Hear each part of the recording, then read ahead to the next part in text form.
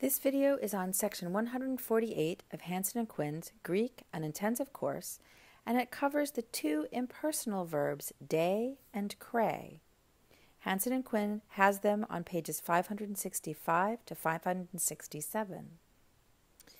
These two verbs, de, deese, and edeese, which means it is necessary, must, or there is need, and cray, craystai, which means ought or must, are called impersonal verbs. You will notice that their principal parts are only in the third person singular.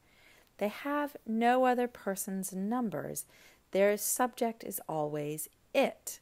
So this is what we call impersonal. They don't have regular person and number. It's only third person singular and it's not attached to subjects in the way that you would normally think.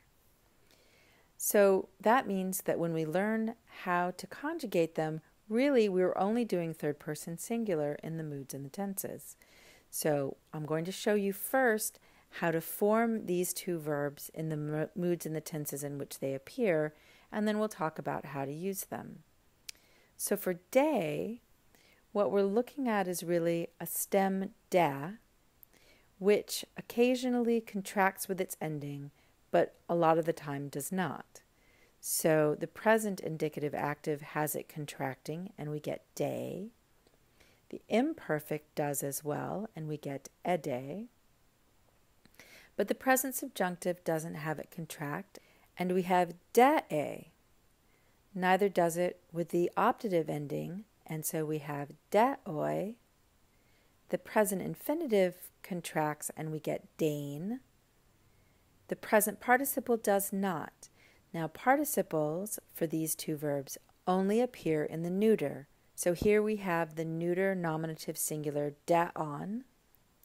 And then de does have a future, deese, and it has an aorist, a deesa, with a nu movable. So cray is a little bit different. Cray is actually an indeclinable noun, cray, that combines in most of the tenses and moods with a form of ami I am or ami sum. And let me show you what that ends up looking like. So our present indicative is just that indeclinable noun, cray.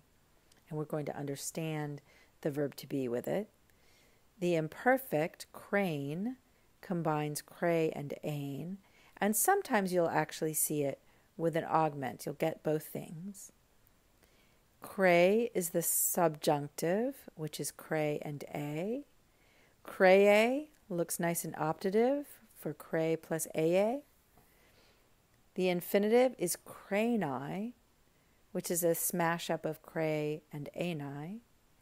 Creone is our neuter nominative singular participle from cray and on with a little quantitative metathesis. And then there is the future craystai, which is cray smashed up with estai, the future third person singular of ami. Cray doesn't exhibit an aorist. So, what do we do with these two verbs? Well, we're going to use them with infinitives.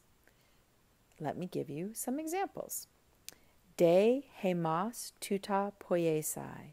So there we have de, it is necessary.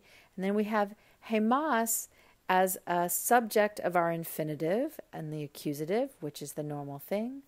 And then we have our infinitive and a direct object. And that ends up meaning it is necessary or there is need for us, hemas, to do this. Or you could put that into more colloquial English and say, we must do this. Similarly, with cre hemas tuta poiesai. So you could think of that as it ought to be for us to do this, but that's really awkward English, and you might as well just translate we ought to do this or we must do this. So when you see a cray, a form of cray, look for the accusative that is the subject of the infinitive and have it be the subject of ought or must. If you have a negative with these two verbs, what you usually mean is must not. So ude hemas tuta poiesai or ukre hemas tuta poiesai both mean we must not do this. But depending on your context and your style of English, u de hemas tuta poiesai could also mean there is no need for us to do this. So the verb de has in it the idea of something lacking, that there's a need of something. And so with the negative, that could mean there is no need for us to do this. That same thing is at work with de when you see it with a genitive of separation. Because there's something lacking, you need it. And that's why what you need is in the genitive case, because you're separated from it. So, for instance, de hemin sophrosunes. There is need for us, with a dative of advantage, of sophrosune in the genitive, of prudence, of moderation. There is need for us of moderation, or perhaps in easier English, we have need of moderation. You'll also see this genitive of separation in polu de and other expressions like it. There is need of much, or perhaps much is missing or much is lacking. The participle of de, on deon, deontas, means in its adjective way needed or necessary. So you'll see it used substantively. So ae poiumen ta deonta means we always do the things necessary, or perhaps even we always do the needful things, the things you must do, ta deonta. So that's a little introduction to the impersonal verbs de and cre, which are quite common, and now you'll know how to handle them when you run into them.